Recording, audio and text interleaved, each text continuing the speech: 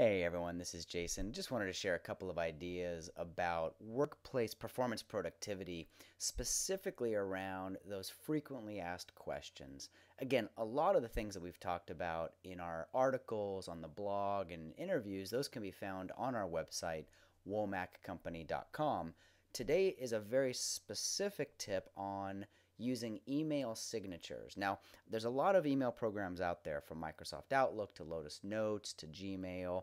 Uh, all of those have some way of adding in a signature. And for most people, that means at the bottom of the email, they have their name, their company name, their contact information. What you can do, in addition to having the normal signature or whatever content you want to go out consistently with every email is you can go in and you can set up a specific set of other signatures that really have nothing to do with just your contact information. They add in answers to frequently asked questions or information that you want to provide consistently in a much more efficient and time effective manner.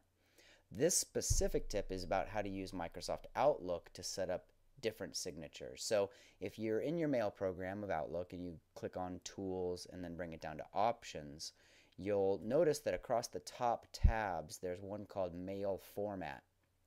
Down in the lower right hand side of this window is a button that says Signatures. And again, you may have seen this a long time ago, maybe the first time that you set up Outlook you did this. If you click on that button called Signatures, it's going to open up a set of signatures that you have. You may only have one or even none in there. But if you click on that button called New, it's going to walk you through. There's a wizard right there that'll walk you through setting up a new signature. Now, this one I've labeled Directions to Office. And if you look carefully in the middle of that window, I said, I checked the radio button, use the existing signature as a template. I always want to make sure that I'm consistent in including the bottom part of the information of the email, but now I'm going to create a new one that has the step-by-step directions to our office. So I'll go through and I'll add whatever it is that I want to be included in the outgoing mail message. Again, this doesn't mean that every email I send is going to have this. This is one specific signature I have titled Directions to Office.